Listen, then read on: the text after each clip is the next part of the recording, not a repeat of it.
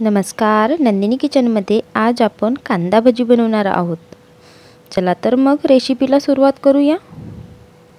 कांद्याचे मी असेल पातळ उभे स्लायसेस करून घेतले. यामध्ये बेसन घालायचं आहे आपल्याला थोडं थोडंच घालायचं आहे. तर अर्धा घालूया. आणि पुन्हा लागलं की थोडं घालूया. दोन हिरवी मिरची बारीक चिरून हळद गरम मसाला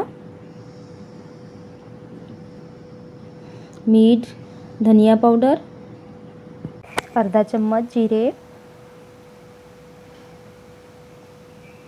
दोन चम्मच लाल तिखट कोथिंबीर घालूया. यामध्ये मी भज्यांमध्ये जास्त कोथिंबीर घालते. मस्त कुरकुरीत होतात भजे. यामध्ये पाणी घालण्याची काही गरज नाही. कांद्यांनाच पाणी सुटतो.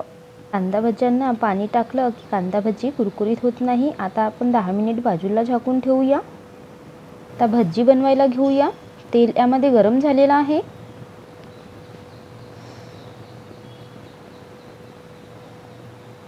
छोटे छोटे भाग करून मोकळे मोकळे तेलामध्ये सोड सोडायचे आहेत.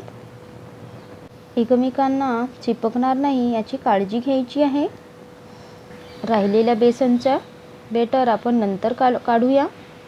आता खमंग तळून घेऊया भजी.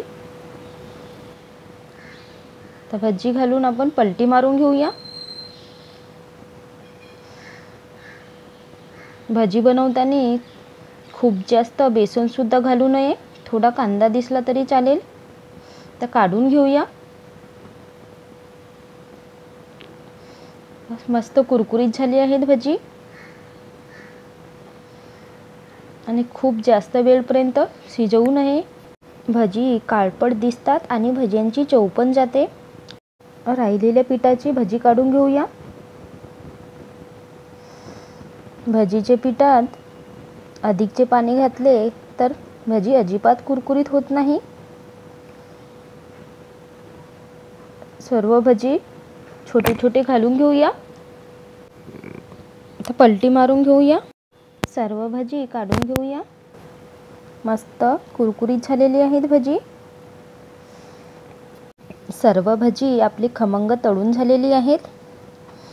गरम गरम भजी चटणीबरोबर जिरा राईस आणि तांदळाची खीर बनवलेली आहे. पापड पण काढून घेतले आहेत पाच सहा. तर गरम गरम सर्व करायला घेऊया.